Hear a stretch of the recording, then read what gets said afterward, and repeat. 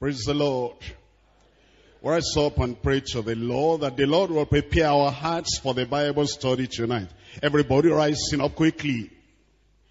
Talk to the Lord in prayer and pray that today the Lord will reach out to your heart, speak to you, and that your heart will receive the word of God. That the seriousness, the dedication, the devotion expected of real disciples of Christ. Wanting to learn, wanting to hear, wanting to know, and wanting to obey the word of God.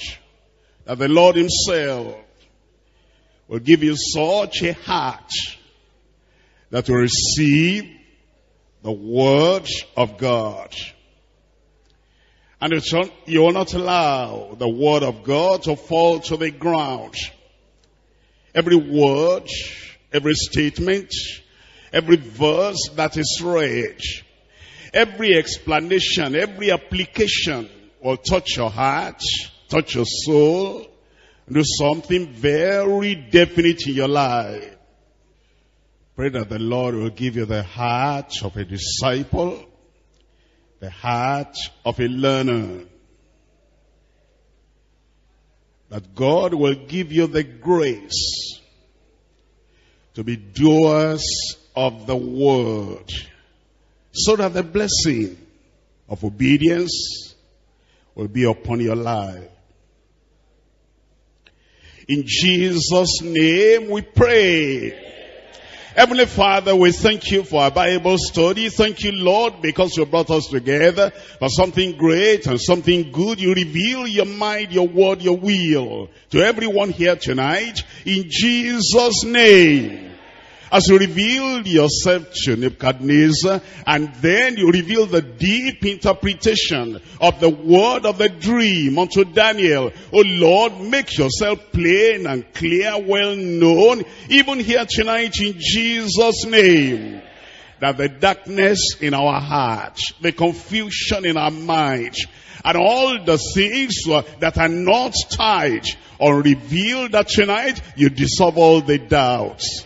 You take all the confusion away. That your light will come and dispel every darkness away from us in Jesus' name.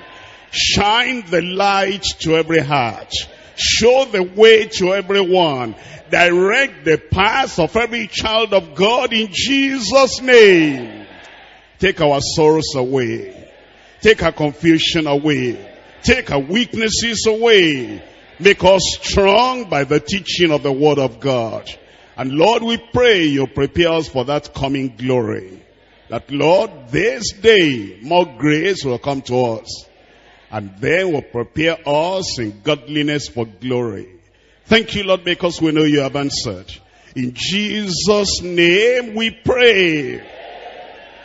Thank you very much. We can sit down. I welcome you to the Bible study tonight. It's always a joy to see so many people around on a Monday night like this.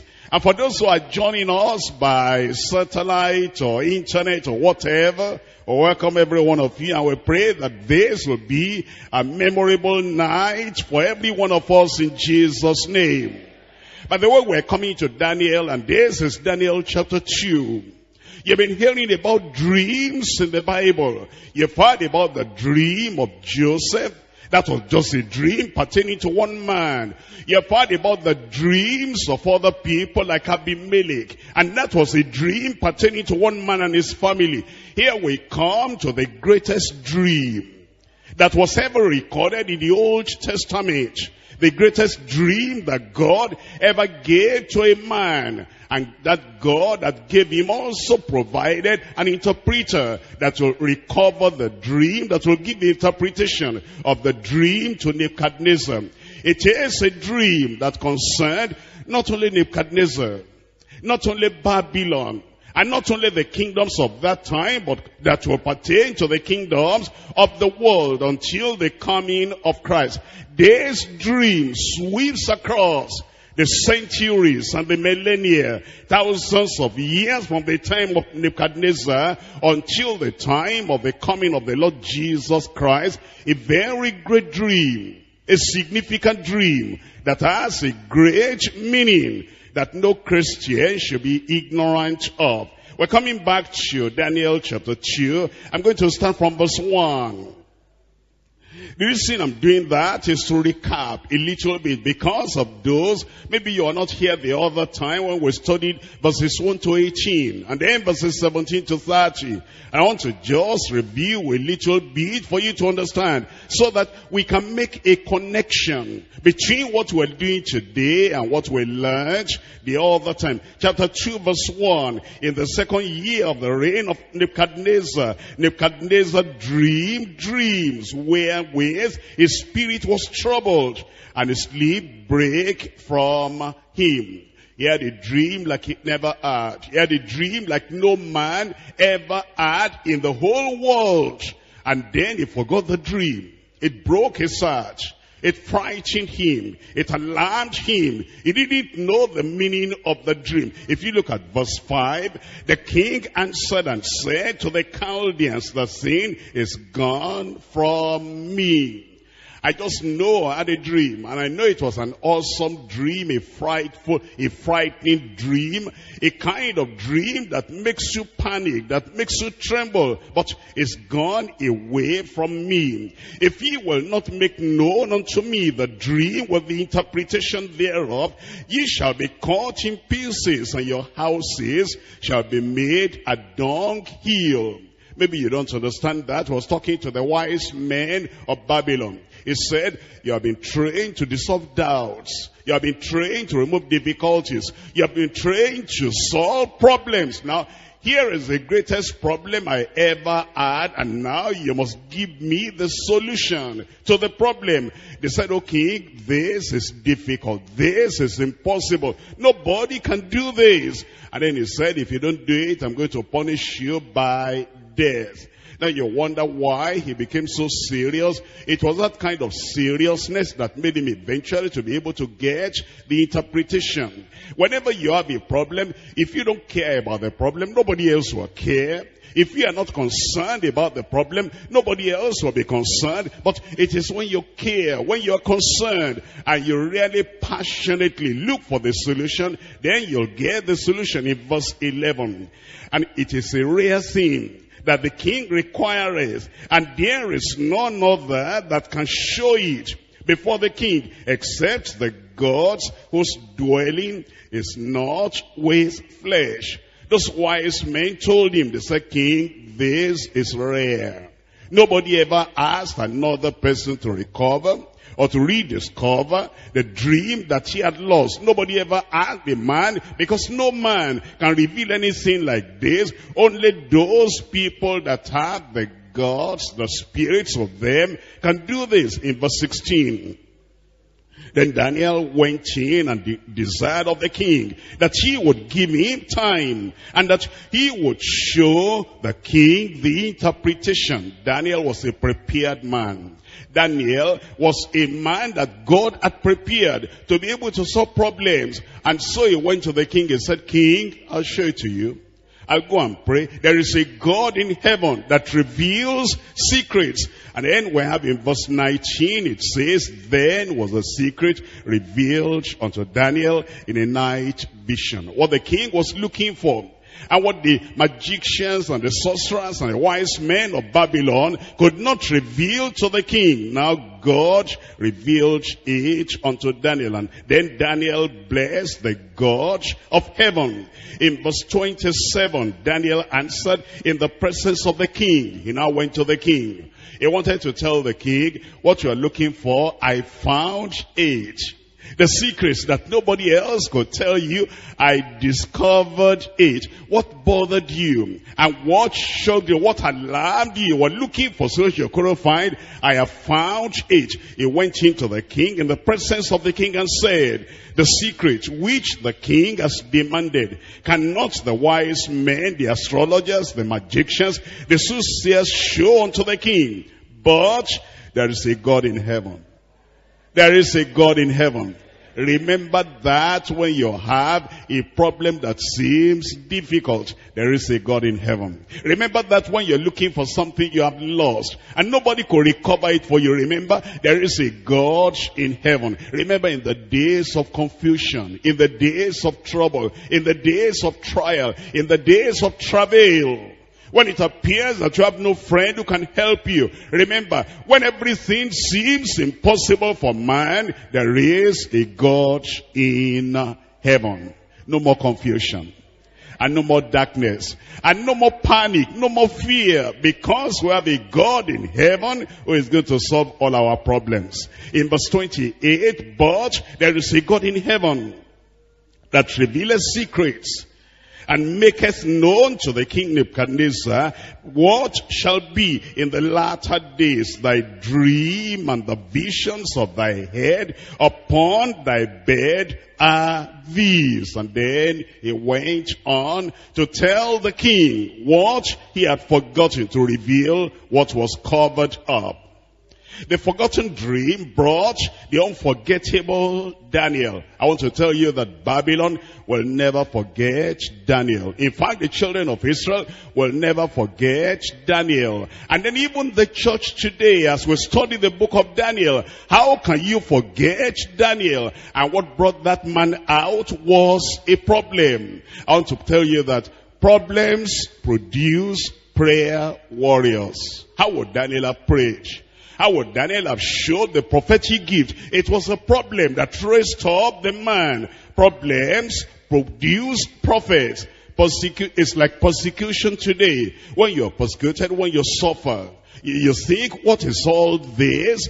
Well, you need to understand that it is that persecution it is a problem that will strengthen you in the inner man. The problems will drive you to the Lord. And when the problems drive you to the Lord, you're able to have, you're able to become what you couldn't have been without the problem. We say this way, a suffering strengthens saints. Suffering strengthens saints. Just like problems produced, uh, produced prophets. And it was the problem of this man of Nebuchadnezzar that made Daniel to come out and then God revealed unto him the great things concerning the future kingdoms to come. Eh, you see, we're talking about this Daniel, and it says God already had endowed Daniel with knowledge, with wisdom, with understanding in all visions and dreams. But it was a dream and the dilemma of the king that revealed the prophetic gift there was an uncommon revelation in that forgotten dream. And Daniel, by divine revelation, received the interpretation from God. I pray that when such a time comes in your life, God will talk to you. He will commune with your heart. And the things that other people are not able to discover, you will discover in Jesus' name. It reveals that he is the dream we're looking at today, reveals a number of things. Number one, the development of the kingdoms of the world. Number two, the decline of the kingdoms of the world. Number three, the deterioration of the kingdoms of the world. Number four, the decay of the kingdoms of the world. Number five, the displacement. One kingdom giving way to another kingdom. The displacement of the kingdoms of the world. Number six, the disintegration of the kingdoms of the world world. And then number seven, the final destruction of all the kingdoms of the world. This dream reveals the successive kingdoms of the Gentile world and the ultimate collapse, the dissolution of all earthly and man-made structures is inevitable. Anything that is built on man inevitably, finally, will collapse, will perish. That's why a child of God will not put his heart, his mind, all his focus, all his attention on the things of this world. We're told in Psalm 62 verse 10, Psalm 62, we're looking at verse 10, the latter part of verse 10. It says, if riches increase, set not your hearts upon them. Nebuchadnezzar should have known the kingdom that he had, the power that he had, the authority that he had, all those things eventually will be displaced and destroyed. Therefore, he shouldn't have set his heart on them. And the Lord is telling us the same thing in 2 Peter chapter 3. 2 Peter chapter 3, we're reading from verses 10 and 11. Don't put your mind, your heart on the things of this world. They don't last. They'll eventually be destroyed. But the day of the Lord will come as a thief in the night, in the which the heavens shall pass away with, with a great noise. And the elements shall melt with fervent heat. The earth also and the works that are therein shall be burnt up. Seeing then that all these things shall be dissolved, what manner of persons ought ye to be in all holy conversation and godliness? The inward thoughts of the people of the world is as if their houses will continue forever. As if their kingdoms will continue forever. As if their palaces will continue to all generations. Nevertheless, man being in honor abideth not. He is like the beasts that perish their uh, this, the way, this their way is their folly. Nebuchadnezzar, a king, who was even referred to as a king of kings in Daniel chapter 2, verse 37. He should have known, but he had exalted thoughts about himself and that kingdom eventually perished. We're looking at uh, Daniel chapter 2 verse 29. This is what he was thinking about before the revelation came to him in the dream. As for thee, O king, thy thoughts came into thy mind upon thy bed. What should come to pass hereafter? And he that revealeth secrets maketh known to thee what shall come to pass. He thought that his glory will be unending, will be irreplaceable. But God revealed to him that whatever is built on men will eventually collapse.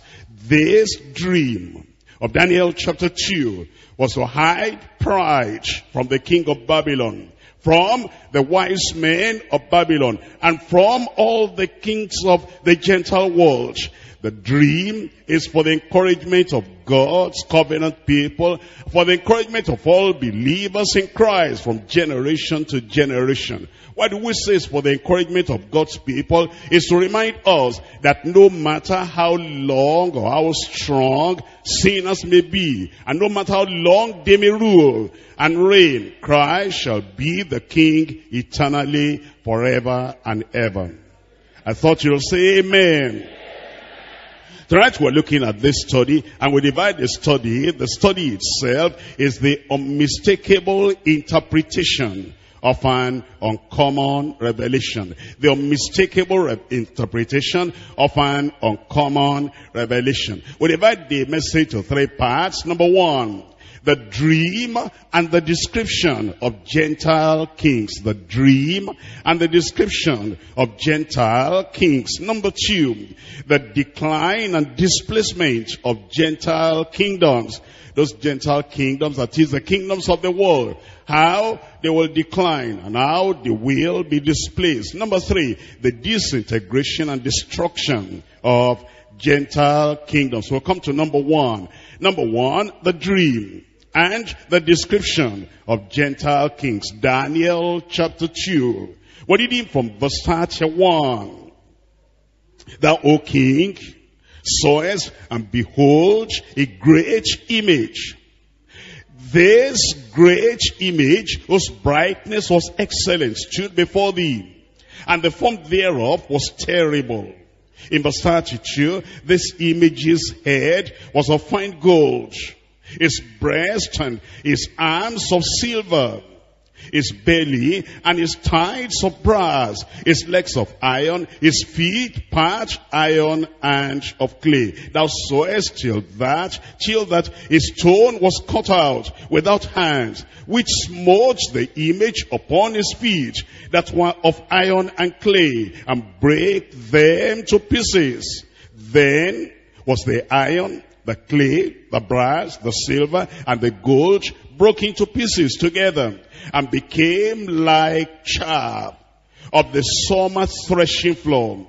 And the wind carried them away that no place was found for them. And the stone that smote the image became a great mountain and filled the whole earth. Verse 36, this is the dream. This is the dream.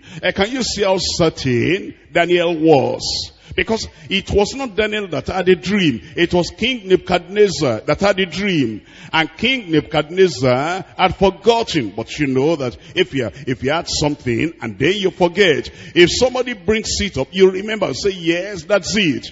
Before Nebuchadnezzar even responded, Daniel said, the head of that image is gold and the breast is of silver. And then it, it goes on and on until you get to the feet, iron and clay. And then Daniel said, O king, this is the dream. This is unmistakable. That's an assurance that he had that God had actually spoken to him.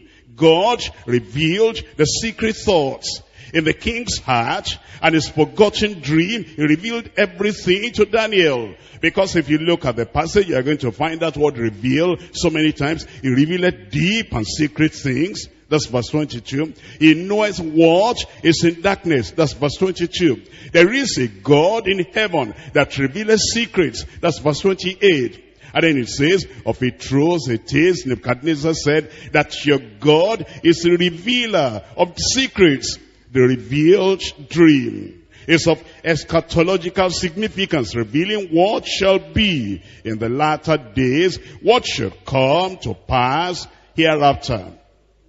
As Daniel spoke about the dream, he said, O king, can I tell you what you saw? You saw a massive, imposing, terrifying statue in the form and shape of a man appearing before you in your dream.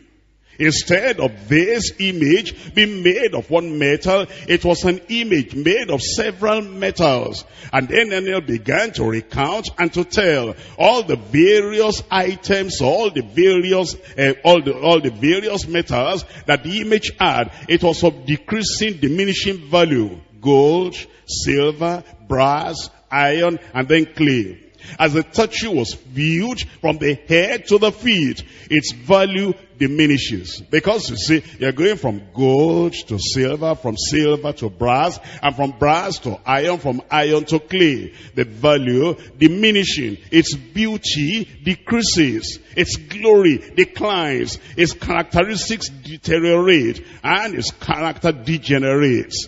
It is seemingly valuable at the top and clearly worthless and useless in its feet. It is telling you something. You know, the people of the world, they think that the kingdoms of the world, they think they're increasing. And they think they're increasing in wisdom, they're increasing in beauty, they're increasing in knowledge. But this revelation is showing us that man is not becoming better, and the kingdoms of the world are not becoming better, they are becoming worse. They're decreasing and diminishing in their value. And then Daniel said the form thereof was terrible was terrible. It was terrifying. It was awesome. It was frightening. This colossal human form, a top heavy statue of depreciating metal stood on weak feet of iron mixed with clay. All of man's glory, will ultimately become worthless and will fade away. That's, that's the meaning of the scene. That, that's what God wanted Nebuchadnezzar to understand. And that is what he wants you and I to understand. That whatever it is people have in this world is not going to be becoming better and better. It's going to deteriorate. Look at First Peter chapter 1. First Peter chapter 1, we're looking at verse 24.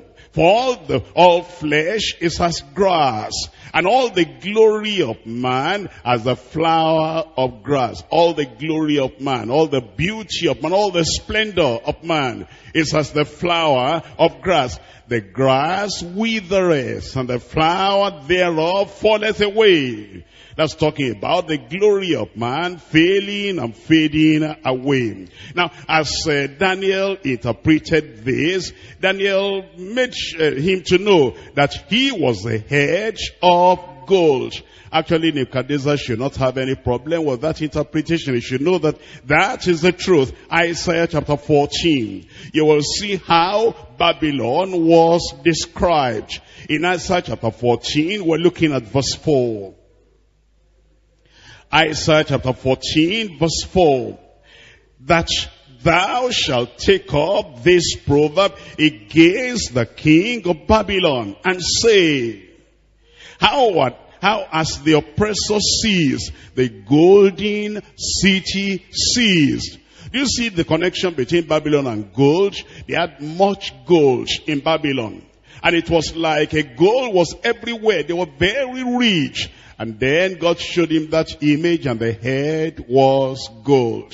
And the next kingdom that will come will not be as bright, will not be as rich, and will not have the same splendor that he had. That's why you'll find that the next thing that followed is that is silver. And then the kingdom that will follow after that, which will be following after the Medo-Persian government, will also be less in value, will be of brass. And then the kingdom that will follow that, the Roman government, will be of iron and clay. That's what God was revealing to uh, Nebuchadnezzar in Jeremiah chapter 51. Jeremiah chapter 51.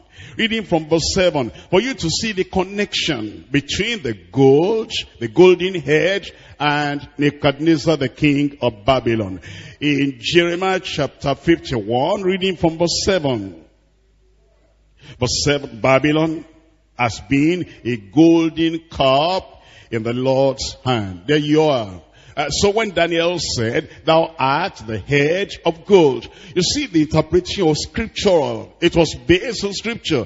Yes, inspired of God, given to him by God, but it was solidly based on the scriptures. Babylon has been a golden cup in the Lord's hand that made all the earth drunken. The nations are drunken of her wine. Therefore, the nations are mad. Babylon is suddenly falling and destroyed. You see that? That's what Daniel was saying. Daniel was saying the kingdom of Babylon will fall. It will be destroyed. It will be displaced by another kingdom. But Nebuchadnezzar did not know that until he was told, howl for her, take balm for her pain. If so be she may be healed. We would have healed Babylon, but she is not healed. Forsake her and let her go and let us go everyone into some country. For her judgment reaches unto heaven and is lifted up even unto the skies. That's what God was revealing to Nebuchadnezzar. Judgment is coming. And the Lord was going to bring this judgment, devastation, destruction upon Babylon. The hedge of gold will give way to the breast of silver. In verse 10, the Lord has brought forth our righteousness. Come and let us declare in Zion the work of the Lord our God. We'll come back to Daniel now. In Daniel chapter 2, verses 38 and 39. Because as Daniel described the dream, the image that the king saw, he must also tell him the interpretation thereof. In Daniel chapter 2 verse 38, and wheresoever the children of men dwell, the beasts of the field and the fowl of the heavens, of, of heaven as he given into thine hand and has made thee ruler over them all. Thou art this head of gold. He told him, he said, you are the head of gold, the first world emperor over a great empire, the first world ruler over a great massive land, over the whole world. Thou art the head of gold. And after thee shall arise another kingdom inferior to thee. You know what Daniel was saying? Daniel was saying, you will not reign forever. Are you referring to yourself as the king of kings? No. Are you referring to yourself as the ultimate, the final, the eternal one? The one that is there will never, never die. No, it cannot be. You are going to die. You are going to be destroyed. Your kingdom is going to be displaced because after thee shall arise another kingdom inferior to thee. Oh, you say you are the most powerful and you're superior to everybody. Oh yes, the inferior kingdom will come. And that less valuable, the worthless one, the inferior one will come and even destroy your kingdom. After thee shall arise another kingdom inferior to thee, and another third kingdom of brass, which shall bear rule over all the earth. The same as you are ruling now, Nebuchadnezzar, another king will come, another kingdom will come, and rule over that. We're looking at um, we're looking at Daniel chapter 10. Daniel chapter 10, I'm reading from verse 20. Then said he, Knowest thou wherefore I come unto thee now? Will I return to fight the prince of Persia? The Medo-Persians, those were the people that took over from Babylon. And then the Medo-Persian people did not also retain it forever. Because we're told in verse 20, And when I am gone forth, lo, the prince of Grecia shall come.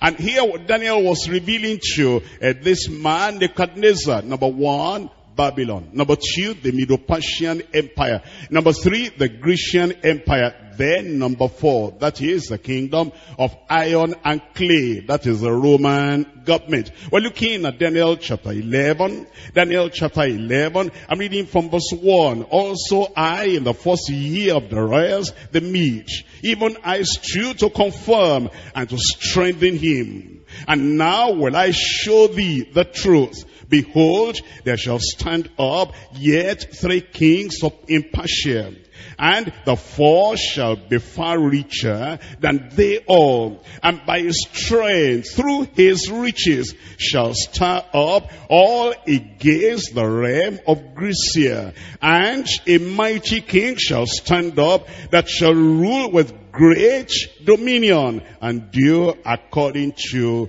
his will. What we're learning here is that God was warning this man, Nebuchadnezzar, and was telling him, you are the head of gold, you are going to be destroyed. That is the dream. That is the description. Before I go to point number two, I need to ask a question. Did Nebuchadnezzar understand? Yes, I think he understood. Because he now understood this was a dream. Did he follow up? Did he follow through? Did he obey? Did he submit himself? Did he humble himself after hearing that? The answer is no. He heard, and like many people that hear the truth of the word of God, he did not profit by what he heard. Why do we say that? Look at Daniel chapter 3. Daniel chapter 3, verse 1. Nebuchadnezzar the king made an image of gold. Nebuchadnezzar the king made an image of gold. What does that mean? You know, when God showed that dream to Nebuchadnezzar, the image was of gold, of silver, of brass, of iron, of clay. And then he said, I can do something better. I can improve on that. And then he made an image totally of gold. He did not get the message. He wanted to be worshipped. He wanted to be exalted so high. And the message that Daniel gave him and said, you're going to be destroyed, you're going to be displaced, and you're going to get out of the scene. Another inferior kingdom will come and take over from you. He said, thank you, Daniel. That's the dream I had. I accept what you have said. I believe what you have said, but I'm going to go my own way. That's what some people do. That after they have got the revelation of the word of God, and the time they are hearing, they seem to accept, they seem to believe, but then they don't work on it. And then we're told in verse 6, in verse 6, and whosoever falleth, falleth not down and worshipeth shall the same hour be cast into the midst of a burning fiery furnace. He said, well, Daniel, thank you very much for your interpretation. Thank you very much for recovering the dream that I lost. But I'm going to raise up an image. He raised up a golden image, all totally gold, from head to foot, to all the toes, everything golden. And he said, now that represents me. Already Daniel told me, I am the head of gold. I'm not just going to be the head of gold. I'm going to be the head and the breast and the hands and the thighs and the feet and the toes of gold. And he said, everybody, you fall down and worship. You know the story. Shadrach, Meshach, and Abednego. Did they worship? They refused to worship. And then he cast them into the fire. And those people, were they burnt in his fire? No. He called them, they came out. After they came out, he said, truly now I know there is a God in heaven. Was he converted? Was it changed? Just because he said, there is a God in heaven, you know, his pride was still there. You know, it's like many people, they study the Bible, they hear the interpretation, they even write, they even make some confession about what they have heard. And yet, there is no internal change, inward change. It is not just to hear. It's not just to listen. It's not just to know. It is to have that word turning us around, transforming us, and changing our lives. Look at him now in chapter 4, chapter 4 verse 30 and verse 31. The king spake and said, Is not this great Babylon that I have built for the house of the kingdom by the might of my power and for the honor of my majesty? While the word was in the king's mouth, there fell a voice from heaven saying, O king Nebuchadnezzar, to thee it is spoken, the kingdom is departed from thee. You see that? He didn't learn a lesson. By the way, why did God give him the dream? And whenever God gave such a dream to people, whether in Bible days or in the days in which we live, why does God give the dream? Let's look at Job chapter 33. In Job chapter 33, I'm reading from verse 14. So, and why are we hearing the word of God? Why are we studying about this dream? Why are we studying about the interpretation of the dream? Here is the reason. Job 33 verse 14. For God speaketh once, yea, twice, yet man perceiveth it not.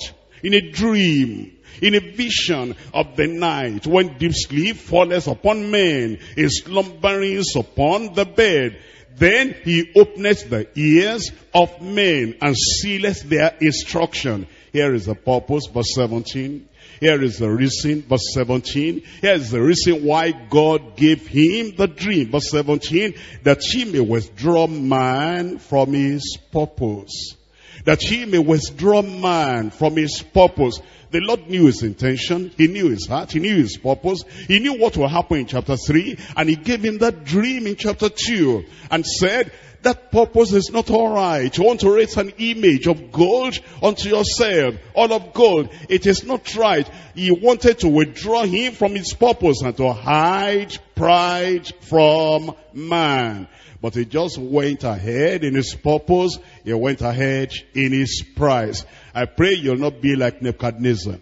That the word of God will have power and effect upon every one of us in Jesus' name. That whatever purposes you have, which are not according to the word of God. When you hear the word of God, that purpose, the word of God will knock it out of your heart. And when there is pride in your heart, the revelation of the word of God will take that pride away from your heart in Jesus' name. We come to point number two now, the decline and the displacement of Gentile kingdoms. The decline and the displacement of Gentile kingdoms. We're looking at Daniel chapter 2. Daniel chapter 2, we're reading from verse 36.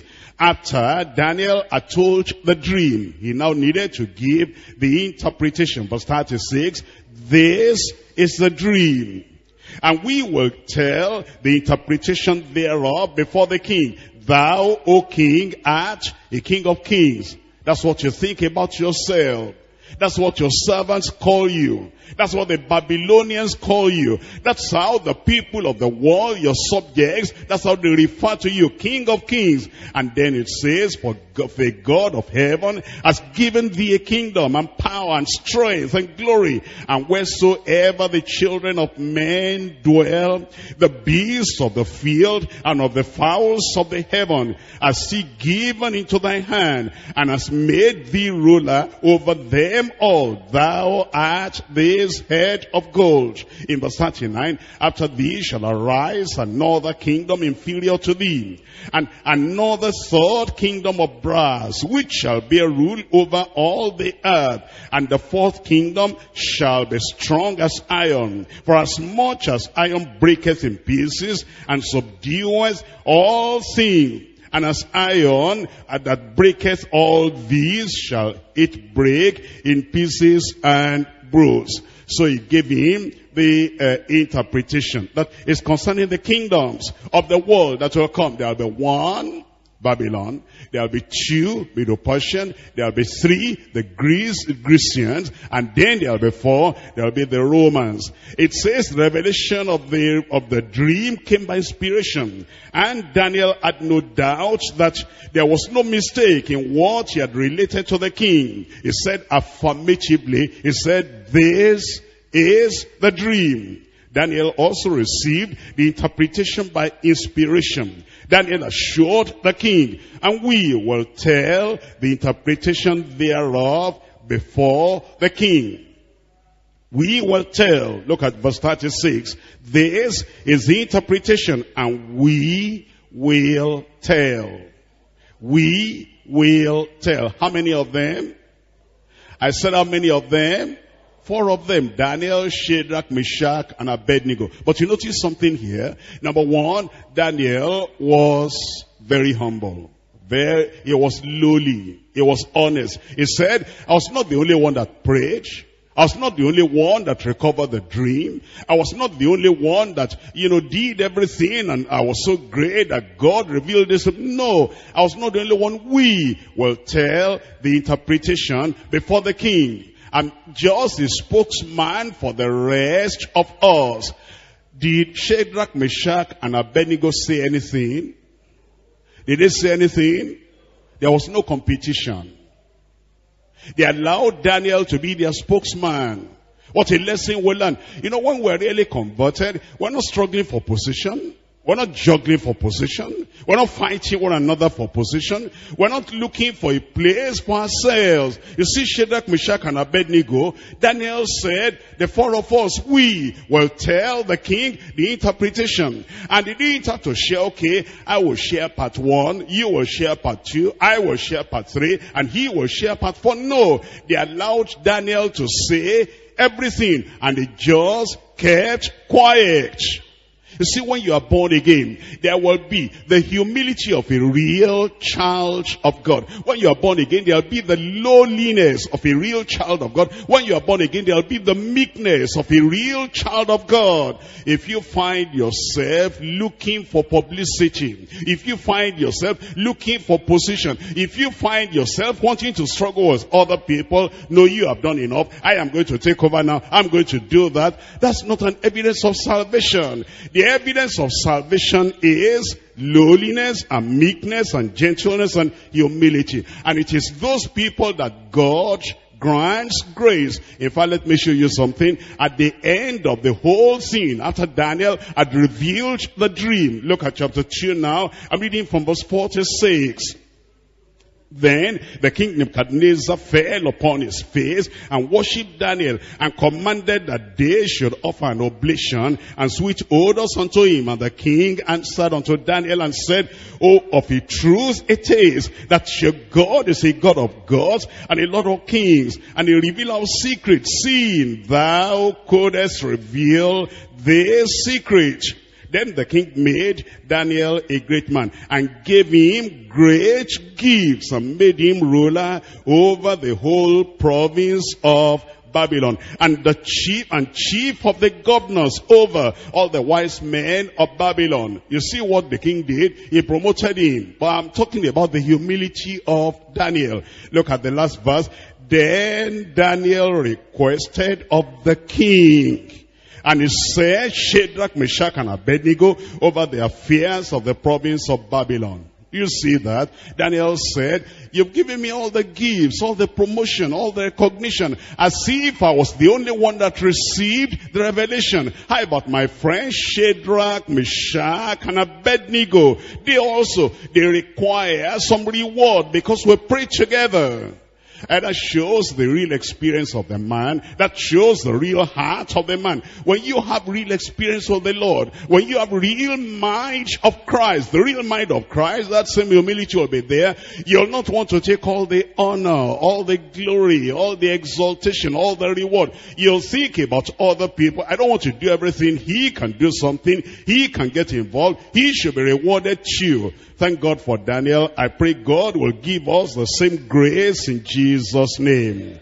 Daniel received the interpretation by revelation. Daniel assured the king that it wasn't just himself. We will tell the interpretation thereof before the king. But the use of the word we, the humility and the modesty of Daniel is clearly demonstrated. In his humility and modesty, he had said, the secret is not revealed to me for any wisdom that I have more than any living but that thou mightest know the thoughts of thy heart. When the Lord endows us with any skill or gift, we must remain humble under the mighty hand of God before men. Now you see the interpretation that he gave to him. He said, the first one, you are the head of gold, the God of heaven, not the gods of Babylon. You see this Daniel is straightened out all the wrong thoughts and the wrong ideas and the proud feeling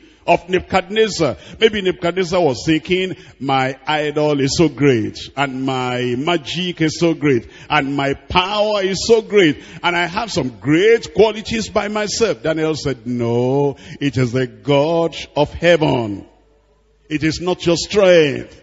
It is not your wisdom. And it is not the God of Babylon that has given you the kingdom, the power and the strength and the glory. It is the God of heaven. The head of gold in the image represents the king and the kingdom of Babylon. The Babylonian kingdom was the first great empire with majestic despotism. The golden head representing the Babylonian eh, government or kingdom, though wicked and cruel, was great and powerful. It was a great monarchy and worldwide empire ruling wheresoever the children of men dwell. And then Daniel said, there's going to be another kingdom after you. Following the head of gold, the image has the breast and the arms of silver representing the kingdom which will conquer and displace the Babylonian kingdom. And we all know that when Daniel made that uh, interpretation of the reading of the writing on the wall uh, for Belshazzar, the son of Nebuchadnezzar, he said the kingdom is divided and given to the Medes. Let's look at chapter 5, Daniel chapter 5. Reading from verse 25. This is the writing that was written. Many, many take you for sin. This is the interpretation of the thing. Mene, God has numbered the kingdom and finished it. And tekel, thou art weighed in the balances and not found wanting. Peres, thy kingdom is divided and given to the Medes and the Persians. Two arms of silver. The Medians and the, the Medes and the Persians. And you see, those were the people that defeated the son of Nebuchadnezzar. And so that's the kingdom that took over, the Medo-Persian government that took over from Babylon. After the reign of Nebuchadnezzar and his son, the kingdom was divided and given to the Medes and the Persians. As silver is inferior to gold, the Medo-Persian empire was inferior to the Babylonian a kingdom in glory, in power, in splendor. And then it goes on, if you look at chapter 2, chapter 2 verse 39. After thee shall arise another kingdom inferior to thee, and another third kingdom of brass. Babylonian government, Babylonian kingdom, number one. Medo-Persian government, Medo-Persian kingdom, number two. And now the next one, the Grecian government or kingdom, that will be number three. This is referring to the Grecian empire, whose king was Alexander the Great. Greece followed Medo-Persia as a world empire. We've read that already, but because it may be new to you, let's read that again. That after the Medo-Persians, then you have Greece. That's in Daniel chapter 10, verse 20. Then said he, Knowest thou wherefore I come unto thee? And now will I return to fight the prince of Persia. And when I am gone forth, lo, the prince of Grecia shall come. This Alexander the Great was the emperor of the Grecian Empire. He insisted that he should be called the king of all the world. And the fourth kingdom shall be as strong as iron. Let's look at verse 40 now of Daniel chapter 2. Daniel chapter 2, we're looking at verse 40.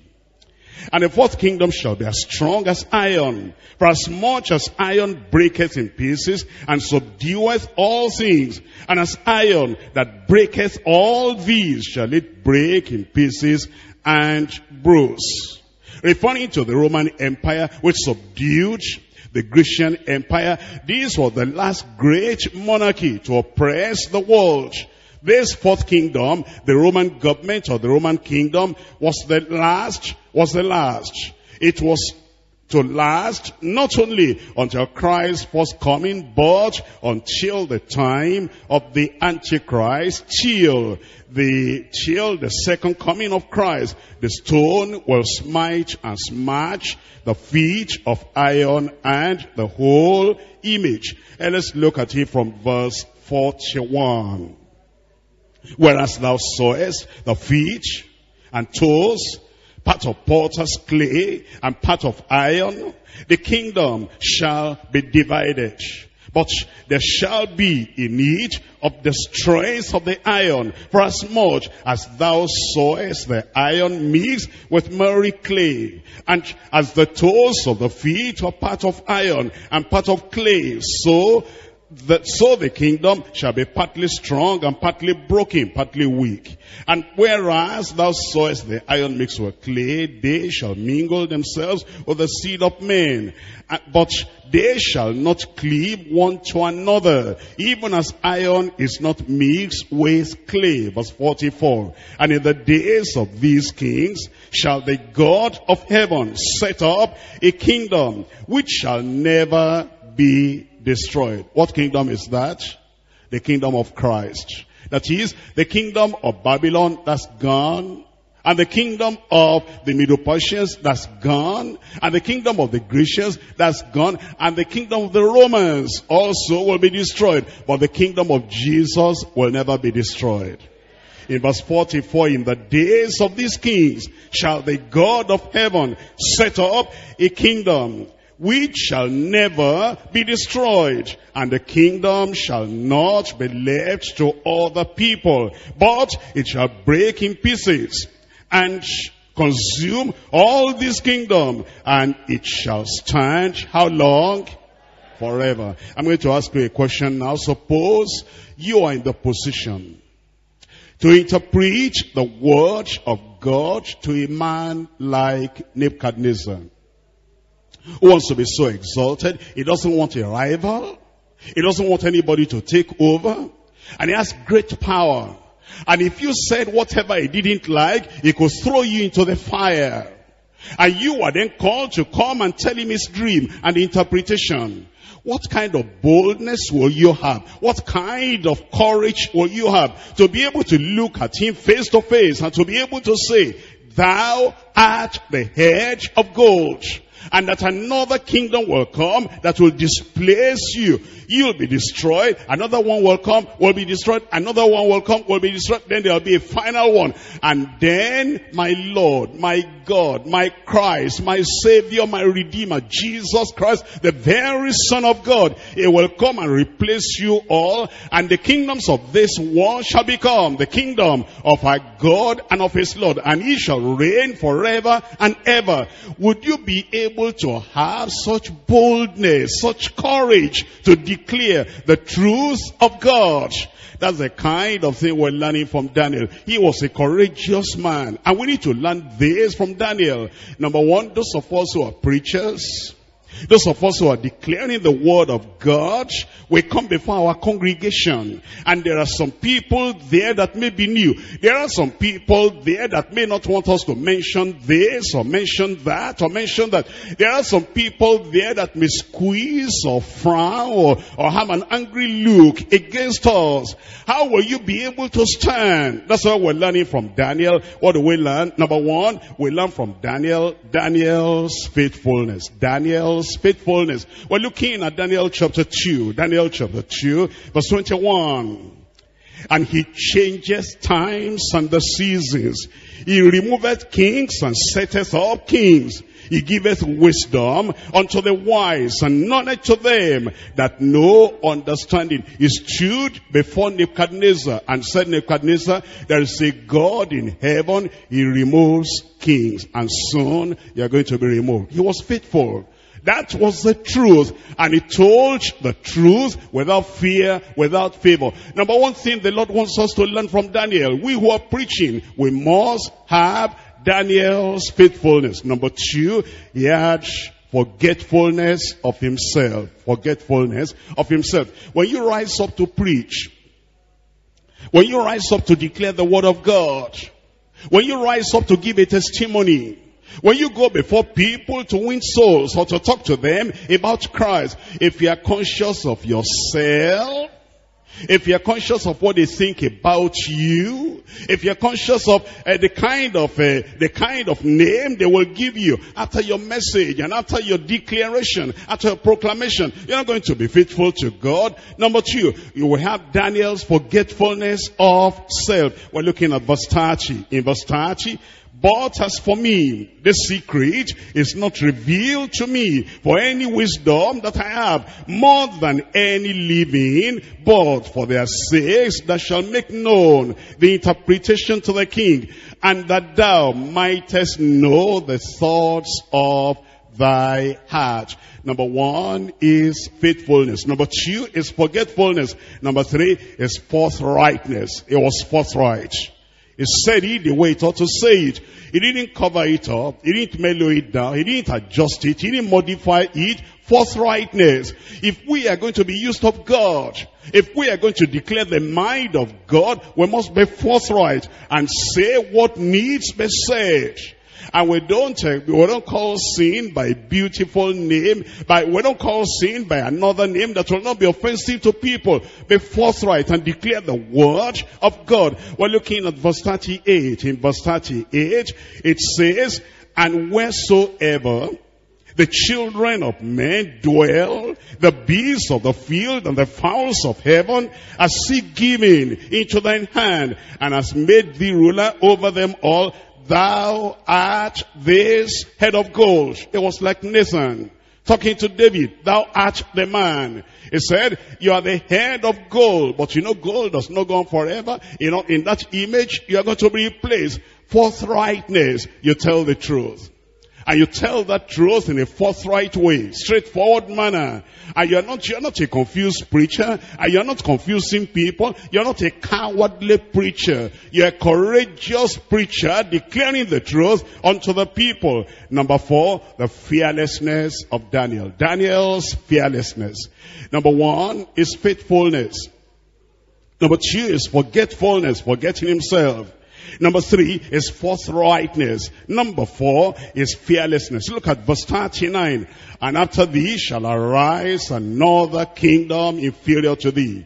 Nebuchadnezzar, I know you don't want to hear this. I know that this is not what you want to hear. You want to continue forever, but I'm here to tell you there's going to be another person that is going to replace you and displace you and destroy the kingdom of Babylon, the fearlessness. That's what the Lord has told us. If you're going to be a real preacher of the truth, you don't look at the faces of the people. You're not afraid of the people. Jeremiah chapter 1. I'm reading Jeremiah chapter 1. I'm reading from verse 7. When the Lord calls us to declare his mind, his will, his word of salvation, the way of salvation to people, you declare it without fear, without favor. Jeremiah chapter 1 verse 7. But the Lord said unto me, Say not, I am a child, for thou shalt go to all that I shall send thee. Whatsoever I command thee, thou shalt speak. Be not afraid of their faces, for I am with thee to deliver thee. And says the Lord, you will not be afraid. I said you will not be afraid. You know, if you're afraid, you, you, will compromise. The fearful person will not be able to preach sound doctrine.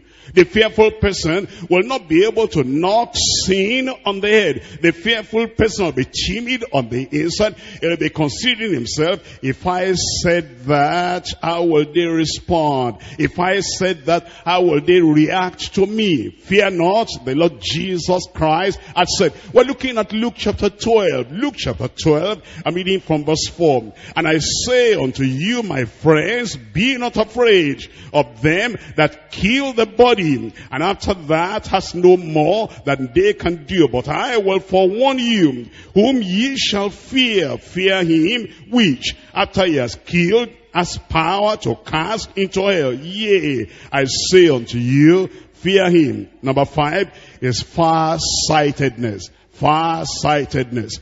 You see, the message of Daniel, it was not just about today about tomorrow. The message of Daniel was not just about next week. It was about the eternal future. It's so far into the future. If you're going to help people, talk about eternity. Talk about heaven. Talk about that everlasting life and look far into the future. Don't just be bogged down. Don't just be focused on the mundane things of this life. The future is there. Look at Daniel now, chapter 2. I'm reading there from verse 44. Daniel chapter 2. We're looking at verse 44.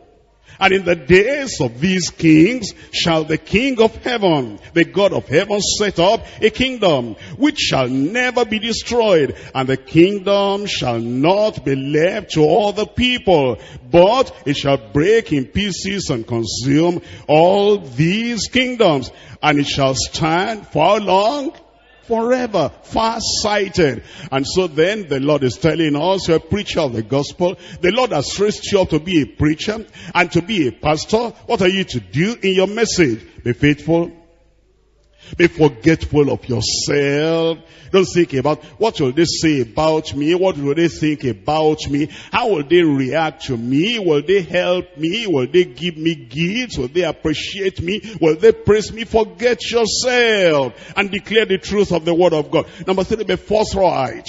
Say it the way it ought to be said. That sinners will be convicted and saints will get on their knees and be committed, consecrated unto the Lord. Number four, be fearless. And then number five, before you are going to be far-sighted. Number six, faultlessness. Daniel's faultlessness, faultlessness. We're looking at uh, chapter 2 and we're looking at verse 45. In verse 45, the latter part of verse 45, this is certain and the interpretation thereof sure. He said, you'll not find fault with this interpretation. You'll not find anything wrong with this interpretation. You will not find any error in this interpretation. The faultlessness of Daniel. In his life, it was faultless. In his message, it was faultless. I'm very sure he said, this dream is certain. And the interpretation is sure. You know the righteous are bold as a lion. If there's no skeleton in your cupboard, if there's no private sin, if there's no secret sin, if there's no private fault, error, or sin, you, you'll then be bold and be able to declare the word of God. Daniel chapter 6, I'm reading from verse 4. Daniel chapter 6, verse 4. It says in verse 4, then the presidents and the princes sought to find occasion against Daniel concerning the kingdom. But they could not find, they could find none occasion, nor fault. Find none occasion, nor fault, for as much as he was faithful, neither was there any error or fault found in him.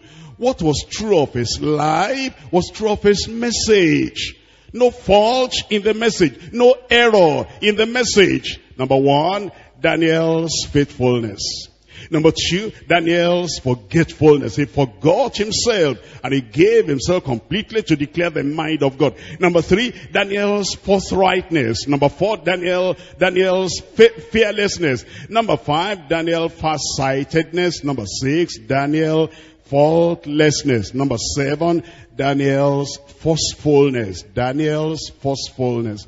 Uh, the word was forceful, not because he shouted, the word was effective. The word was powerful. The word was pungent. And the word caught Nebuchadnezzar. The force of the word got him from his throne and got him knocking the ground with his head. Look at Daniel chapter 2. Daniel chapter 2. I'm reading there from verse 46. Then the king Nebuchadnezzar fell upon his face and worshipped Daniel and commanded that they should offer an oblation and sweet odors unto him. When he heard the word, he got up from his throne. He fell on the ground before Daniel. The word was powerful. The word was pungent. And the word was forceful. Tells us in verse, in verse 47, the, the king answered unto Daniel and said, Of a truth it is that your God is a God of gods and a Lord of lords and a revealer of secrets, seeing thou couldst reveal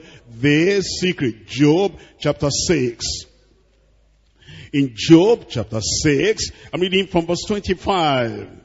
How forcible, how forceful are right words. How forcible, how forceful are right words. And you know that's what should happen when a sinner comes into the congregation and we're preaching. When a backslider comes into the meeting and we're preaching. When believers come into the meeting and we're preaching. The word of God should strike them at the heart and make them to fall down before the Lord. The word should be forceful. The forcefulness of Daniel. We're looking at First Corinthians chapter 14.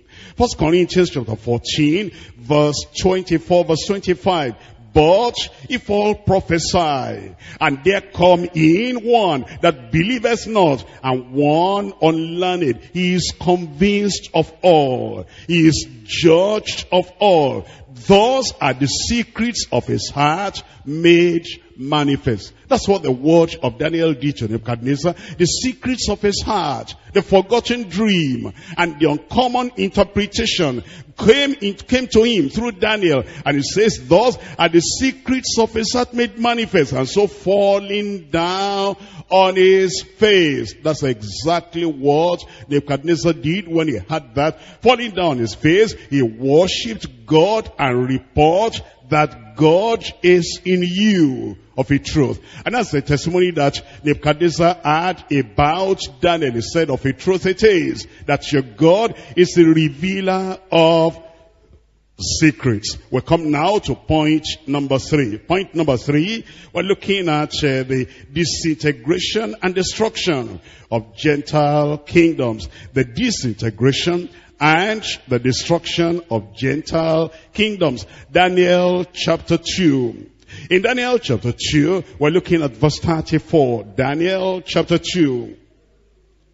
Looking at verse 34. Thou sawest till his stone was cut out without hands, which smote the image upon his feet that one of iron and clay and break them to pieces. Then was the iron and the clay and the brass and the silver and the gold broken to pieces together and became like the chaff of the summer threshing floors. And the wind carried them away that no place was found for them. And the stone that smote the image became a great mountain and filled the whole earth. Now it's going to also interpret that, what he has said now, that stone came, cut out of a mountain and without the agency of man, without human agency and struck at everything and then everything became chaff and was blown away by the wind. Here is the interpretation, verse 44. And in the days of this king shall the God of heaven set up a kingdom which shall never be destroyed and the kingdom shall not be left to all the people, but it shall break in pieces and consume all these kingdoms and shall stand and it shall stand forever. For as much as thou sawest that the stone was cut out of the mountain without hands, and that it break in pieces the iron, the brass, the clay, the silver, the gold, the great God of heaven has made known to Nebuchadnezzar the king what shall come to pass hereafter. And this is certain, and the interpretation thereof sure.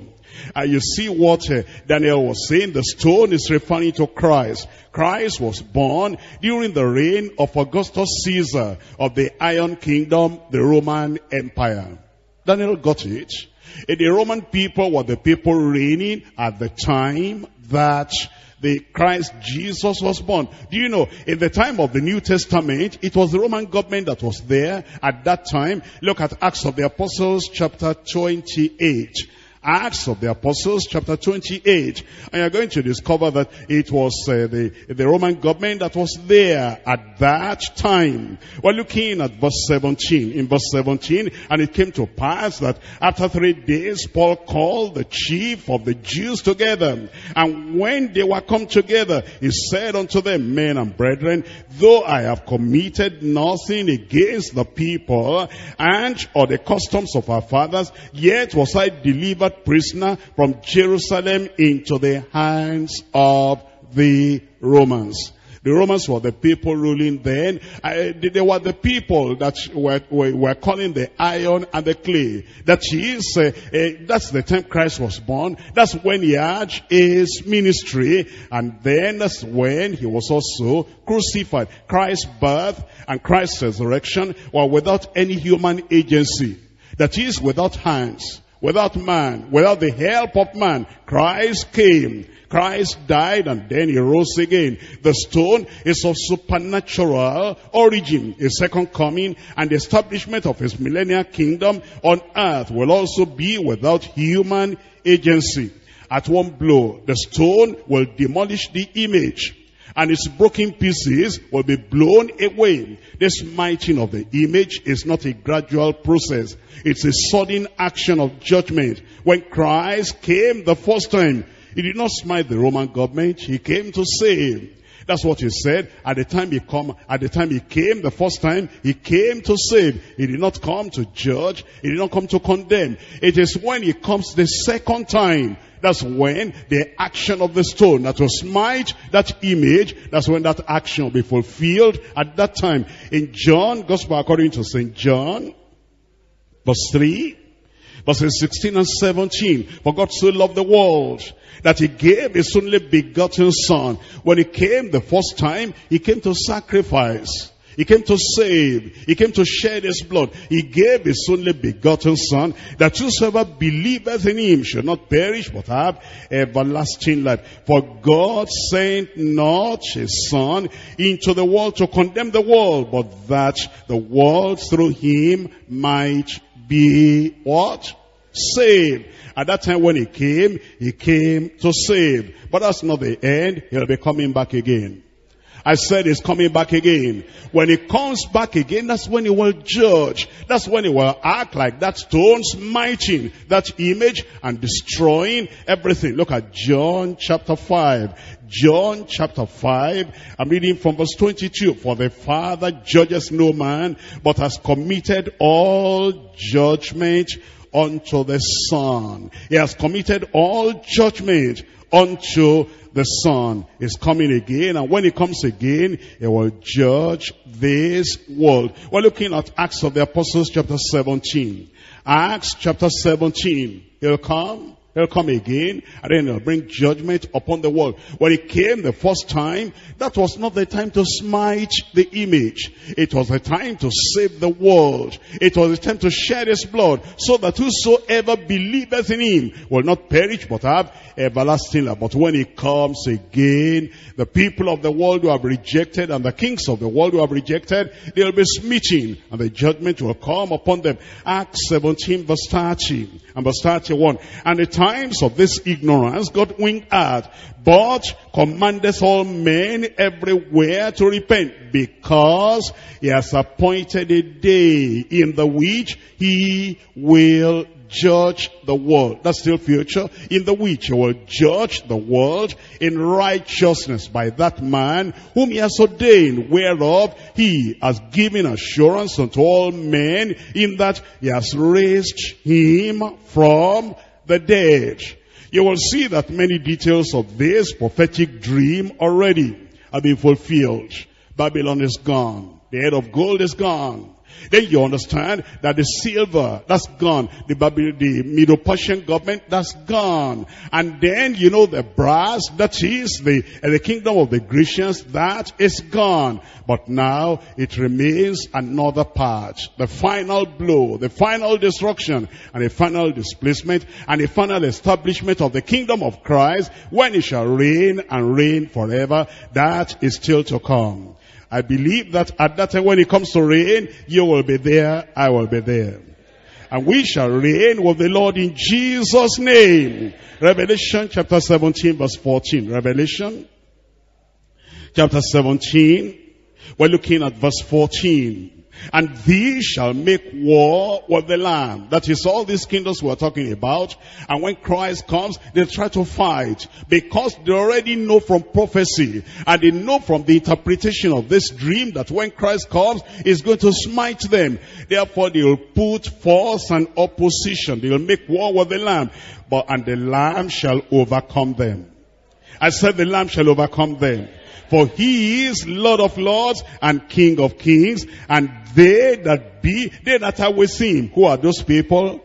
We are the people. They are called and chosen and faithful. Revelation chapter 19 verse 11. And I saw heaven opened and behold a white horse and he that sat on him was called faithful and true. And in righteousness he does judge and make war. His eyes were like a flame of fire and his head were many crowns and he had a name reaching that no man knew but he himself. And he was clothed with a vesture dipped in blood and his name is called the Word of God. And the armies which were in heaven followed him upon the white horses, clothed in fine linen, white and clean. And out of his mouth goeth a sharp sword. And with, with it, it, it should, it should smite the nations. You see that word there, smite. It should smite the nations. And it shall rule then with a rod of iron. And he treadeth the winepress of the fierceness and the wrath of the Almighty God.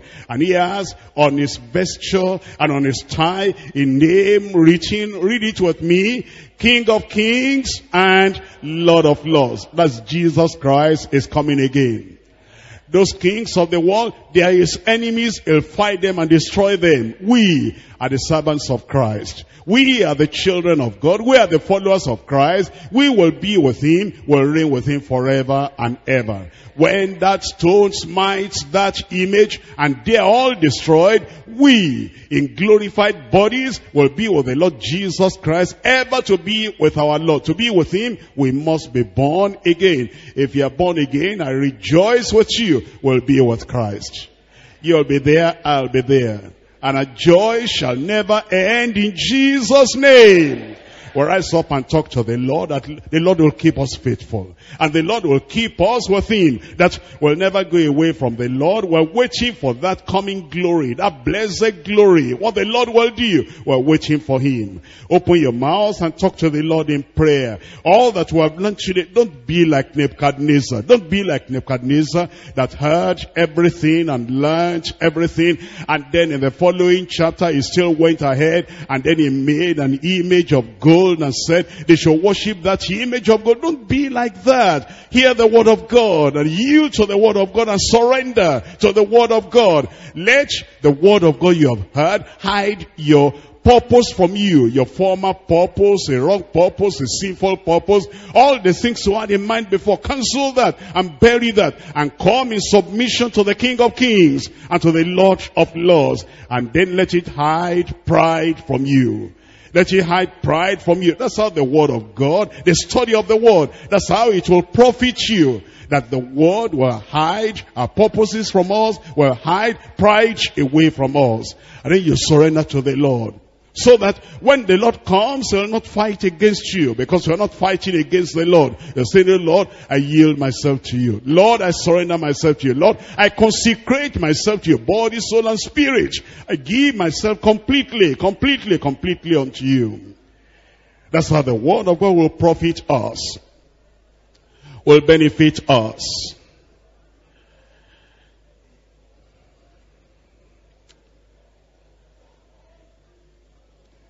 The kingdoms of the world will perish. No matter how powerful they are, no matter how mighty they are, no matter how rich they are, of gold, of silver, of brass, of iron, they will perish. But only those who lean upon the Lord, only those who stay with the Lord, will live forever and ever and reign forever and ever with Him.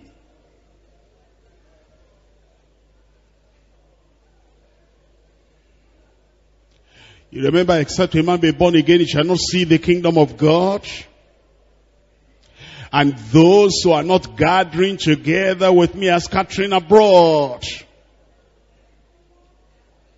Be a follower of Christ, not an enemy.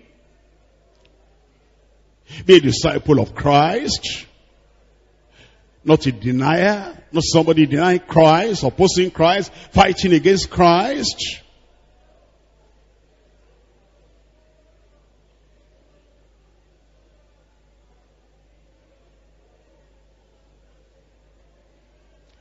The sinful world will be judged on the final day. With their kings and priests and princes and all the people, that stone will smite them in judgment. Come out from among them. Be a child of God. Come out from among them. Be a saved soul. Turn away from your sin. Turn away from your evil. Be washed and cleansed. The blood of Jesus. The cleansing, the cleansing blood of the Lamb. Surrender to Christ. Follow after Christ. Live for Christ. Live for His glory.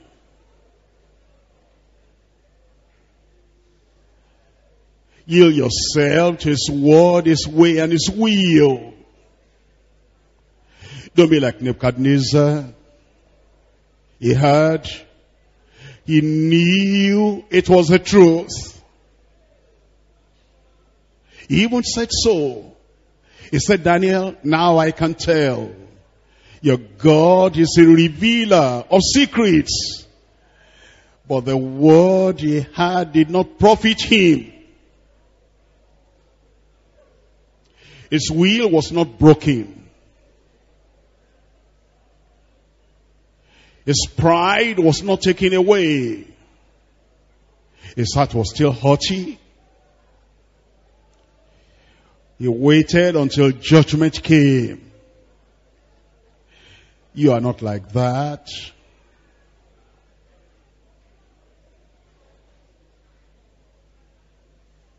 Give yourself to Him. Surrender yourself to Him. Be part of the people of God. Not His enemies. Not those who fight against Him.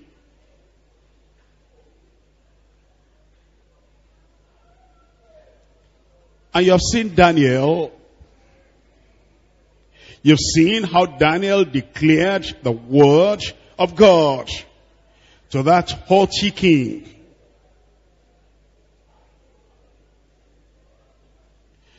Faithful Daniel. Faithful Daniel. Be faithful when you declare the word None of your hearers will be as wicked as Nebuchadnezzar. No member of your congregation will be as fierce, as cruel, as wicked,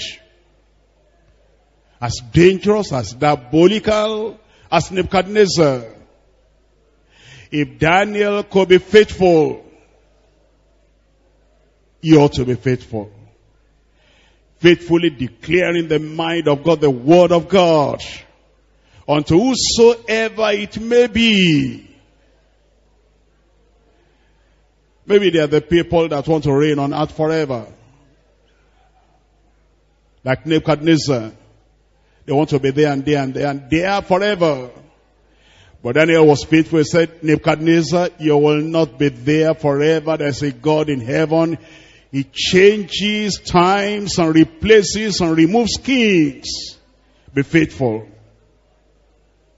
Forget yourself. Forget yourself. Don't be so self-conscious. Forget self. Be faithful to God. Don't please yourself, please God.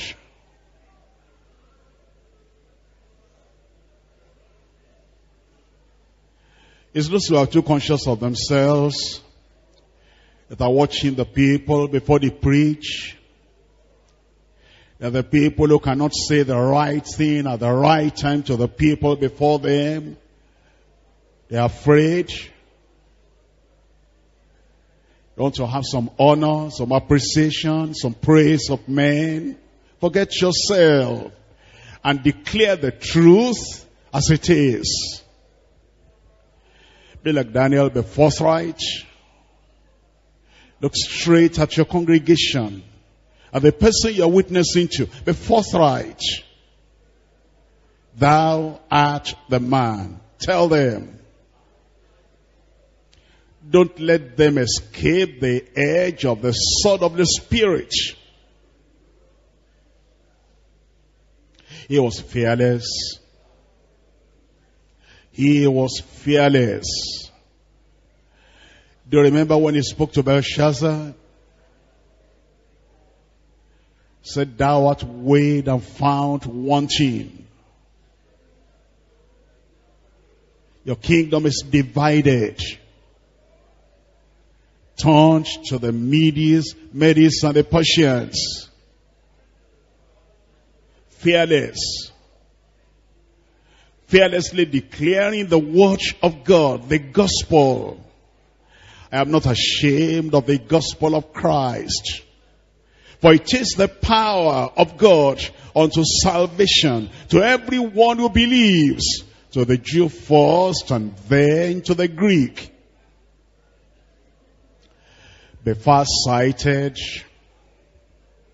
Look far into the future. Talk about eternity. Talk about heaven. Talk about hell. Talk about, talk about Christ's eternal kingdom. Not just about prosperity. That's just for now. Not just about money. That's just for now. Not just about the mundane things of this world. That's just for now. Be far-sighted. Look beyond the things of this world. Talk about the coming of Christ. Readiness for that coming. Preparation for that coming. And be faultless. Faultless in your life. And faultless in your message.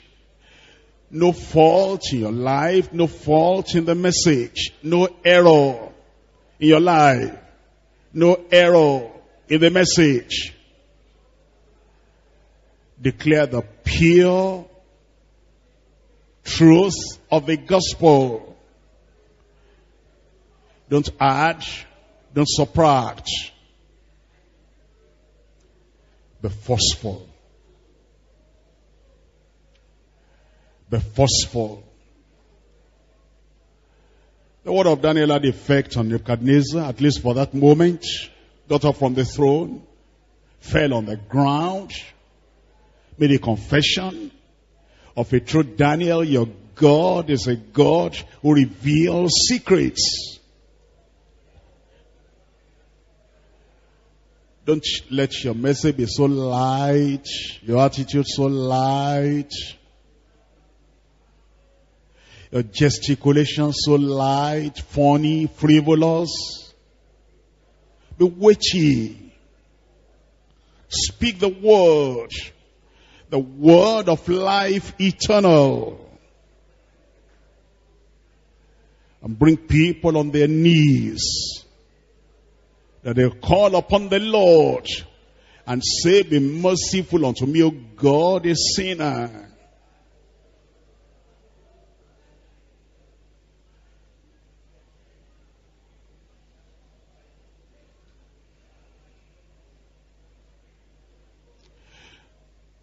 It's when you surrender your heart, your will, your mind, everything to the Lord.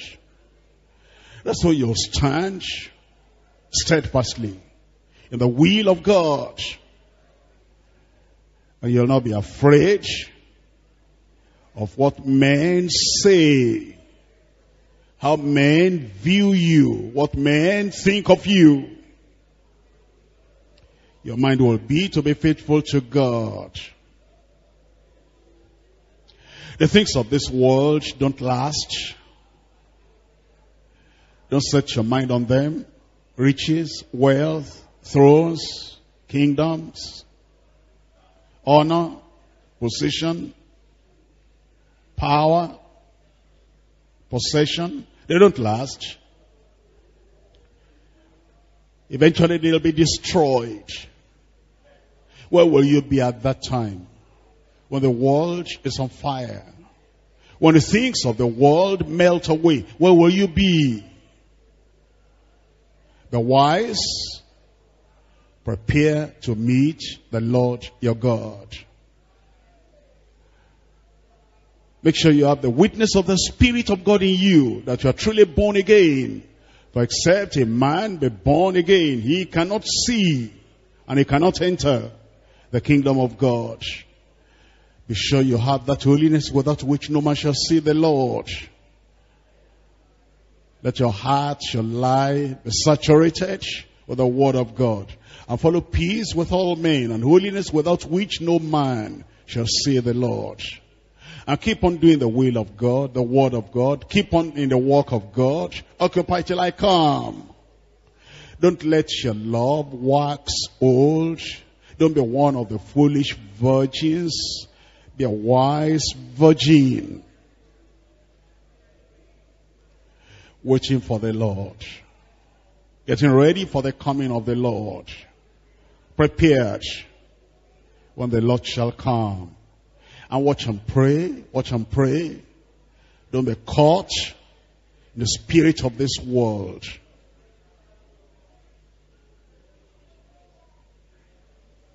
Finally, let this word have a definite, lasting, enduring influence upon your heart.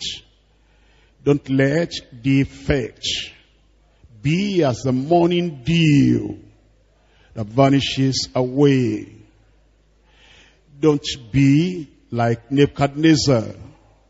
Be like Daniel. Be humble as Daniel was humble holy, as Daniel was holy, meek, as Daniel was meek. You remember Shadrach, Meshach, and Abednego in the study? They didn't struggle for position, for publicity. Don't struggle for anything on this earth. Follow the Lord in all humility of heart and live Whatever he gives, whatever he takes away, leave that in his hand.